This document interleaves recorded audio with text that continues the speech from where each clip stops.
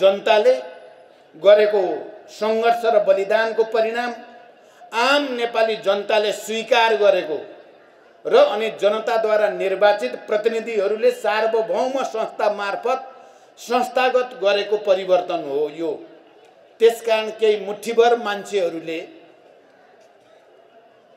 षड्यन्त्रपूर्ण तरिकाले यसलाई उल्ट्याउन खोज्ने कुरा नेपाली जनतालाई मान्ने छैन। तानाशाही र निरङ्कुश शक्तिहरू एकचोटि परास्त भए तर तिनीहरू पुरै परास्त अझै भएका छैनन्। उनीहरूको कसरत षड्यन्त्र नेपाल र नेपाली जनताका विरुद्ध चलि नै राखेको छ। हिजो आज तपाईँहरूले समाचारहरू हेर्नुभयो भने देशलाई बन्दकी राख्ने राष्ट्रिय हितका विपरीत गतिविधि गर्ने काममा चाहिँ स्वयं सरकारको नेतृत्व गर्ने प्रमुखहरू नै लाएका खबरहरूले नेपाल र नेपाली जनताको इज्जत प्रतिष्ठा उनीहरूको आत्मसम्मान र राष्ट्रिय स्वाधीनतामाथि प्रश्न चिन्ह खडा गर्ने दुस्साहस भएको छ।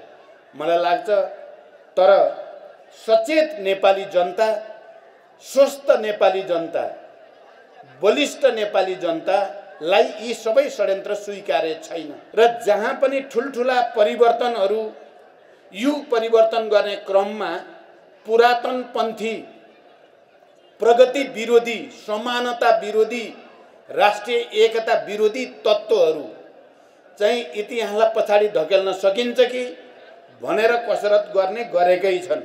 यो नेपालमा मात्र होइन विश्वका कुनै पनि देशको इतिहासलाई क्रान्ति र प्रतिक्रान्तिको इतिहासलाई हेऱ्यो भने त्यो चित्र देख्न सकिन्छ। नेपालमा पनि चाहे सात सालको कुरा गरौँ चाहे छयालिस सालको कुरा गरौँ या अहिले त्यस खालका प्रतिगमनकारी कोसिसहरू हुने गरेका छन्। अहिले पनि केही मानिसहरूले त्यस्तो सपना देख्छन्।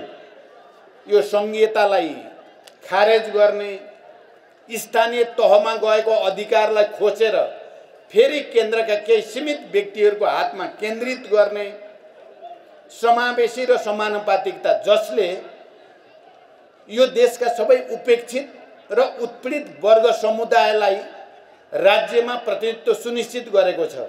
त्यसमा के मधेसी के आदिवासी जनजाति के दलित के महिला के मुस्लिम के थारू सबैको लागि संवैधानिक मान्यतासहित अधिकार सम्पन्न बनाउने परिकल्पना गरिएको छ। त्यसलाई उल्ट्याउन खोज्ने प्रवृत्ति देखा परेको छ।